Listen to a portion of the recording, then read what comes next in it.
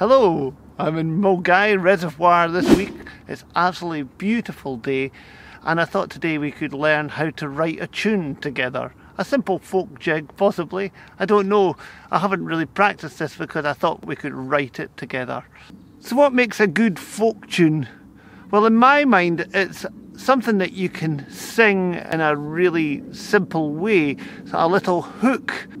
A hook that just sticks in your mind other people like more rhythmical tunes, but today I think we'll just try and write something dead simple. So we're going to do this together. We're going to find a simple phrase that will maybe get us started and we can maybe sing.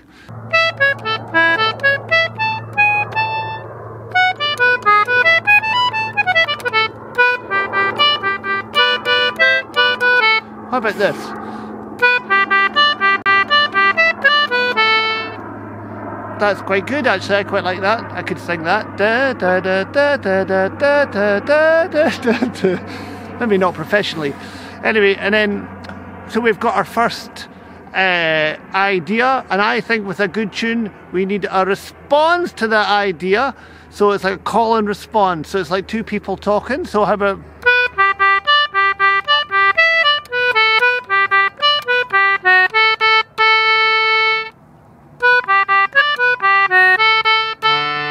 Well, that's very simple, but I think it works. Let's hear the two of them together, see if we can hear the call and response. I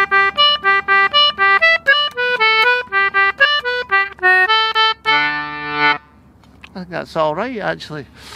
And then that's the first four bars of our jig in G major. And uh, then we do the last four bars, which will another call and response. Now we could uh, just play the exact same again and put an ending on it, or we could change it slightly.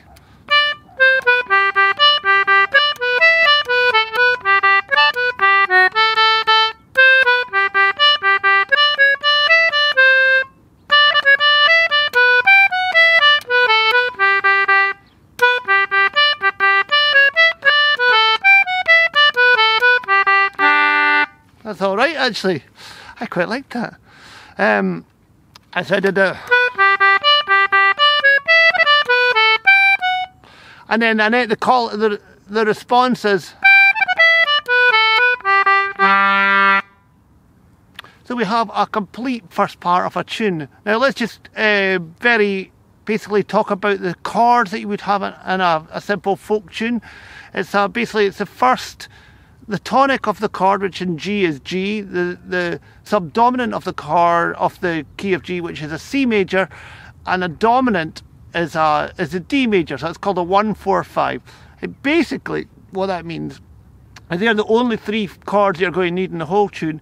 When you get to the end of the first four bars, you're typically going to go and play the dominant chord, which is a D. So because um, it's a D major, and when you play a D major, it always flows naturally back to the G.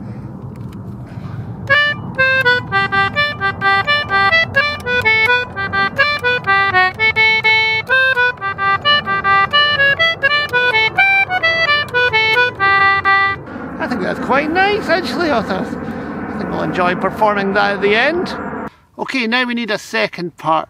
Now we've got a few choices here. We could uh, try going to the, the relative minor of G, which is E minor, and basically that means that the E minor chord has one sharp in it, exactly the same as a G major, but it just sounds minor.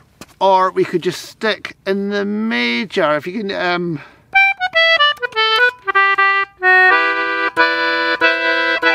so that's a sort of E minor vibe, or we could... Uh, I think for this tune we're just going to stay in the G major chord. So um, uh, let's have some ideas. Alright, let's try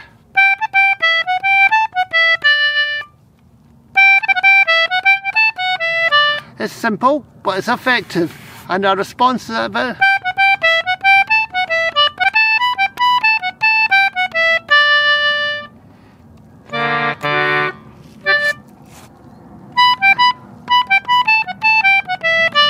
Okay, there's a response for you. And then, uh, so let's hear both of them together.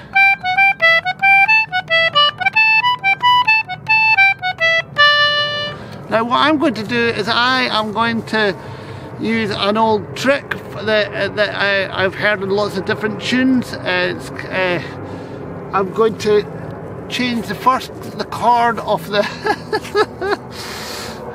and I, instead of finishing instead of finishing the four, the four bars of second part on a D, the dominant as we talked about before, I'm going to finish it on a G7, which has got an F natural in it, and then I'm going to move to C. Now it's just a it's a well used. it's very difficult to sit here. It's a well used thing, but it's quite effective. So. Um,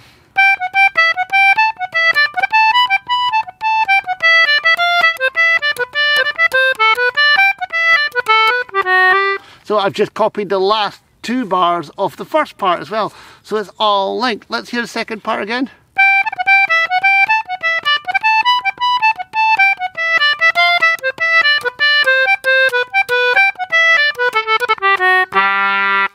The thing about when you write a tune is you write the tune and then it changes. And then it changes again. So I'm going to write this tune out for you and I'm going to put a link in the description below. And uh, and possibly it might be and if I play this when I play this again it'll be different again because they do change.